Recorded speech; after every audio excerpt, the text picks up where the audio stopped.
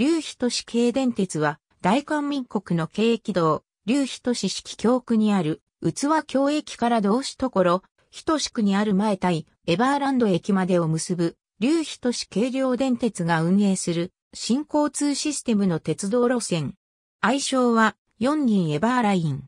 本校では、劉妃都市軽電鉄を運営する、劉妃都市軽量電鉄株式会社、及びその前身の劉妃都市軽電鉄株式会社についても記述する。劉妃都市氏が施設を保有し、劉妃都市軽量電鉄株式会社が運営する。ただし、日常の駅、務む、線路の維持保守運営は、同社から委託を受けた、ボンバルディアトランスポーテーションコリアが、母体の劉妃都市系電鉄株式会社が担当する。劉妃都市市の人口が急増し、市内にいくつかの観光地もあり、新しい都市交通体系を構築する必要。2010年10月 28.4km 区間の開通を目標に工事中であったが、騒音問題やシステム不備などから延期。2011年3月の開通を目指して交渉していたが実現しなかった。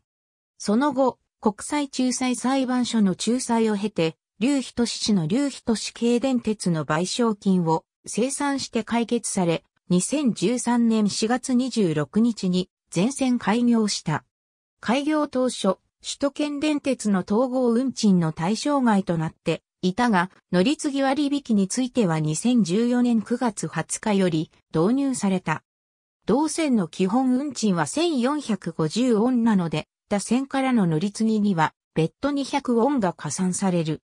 開業までの騒動さらに10月開業予定も、新市長と事業者側の MRG をめぐる対立で観光したにもかかわらず、市が竣工確認を拒否し延期。市が竣工確認を渋ったのは、開業後の利用予測が建設時の基準を大きく下回り、MRG に基づき毎年事業者側へ損失補填が避けられなかったことである。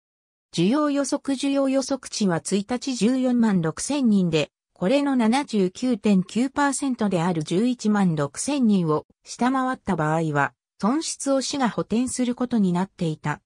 需要予測値自体は高く見積もられており、開業すれば1日1億ウォン、年間300億ウォンを市が負担することが濃厚となっていた。これは、インチョン国際空港鉄道でも問題化していた。2011年2月に電鉄社側は、事業終了を通知、国際司法の場で争うことになった。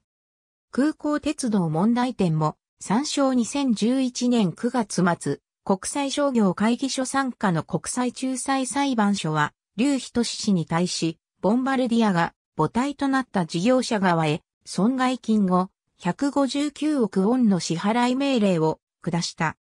これは市の年間予算の40%に相当する額で市の財政にも深刻な影響をもたらすことになった。同年12月28日、開業予定だったが無期限延期。2012年4月、当時の前市長だった李正文を収賄容疑で拘束、起訴。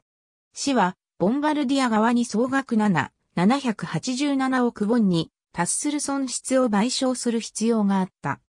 このうち後、159億ウォンは、地方債発行で返済、残額3、000000000、ボンは、国内の投資ファンド、コンサスアセットマネージメントが引き受けるが、観光後の未運行期間損失保証額をめぐる対立が合意に至ったのは、開業9日前の2013年4月17日だった。開業後、ボンバルディアトランスポーテーションのアートベースの車両を使用。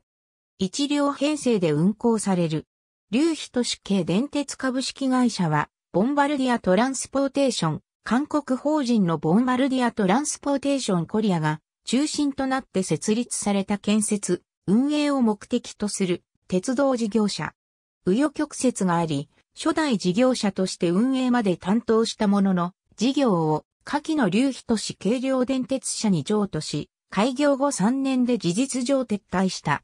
劉飛都市軽量電鉄株式会社は、大韓民国の軽軌道、劉飛都市市内にて、劉飛都市軽電鉄運営の2代目鉄道事業者である。なお、路線の運営は2016年8月1日からネオトランス株式会社へ委託されており、2023年7月30日まで7年間継続される予定。遠隔、編集、流飛都市軽量電鉄に関するカテゴリありがとうございます。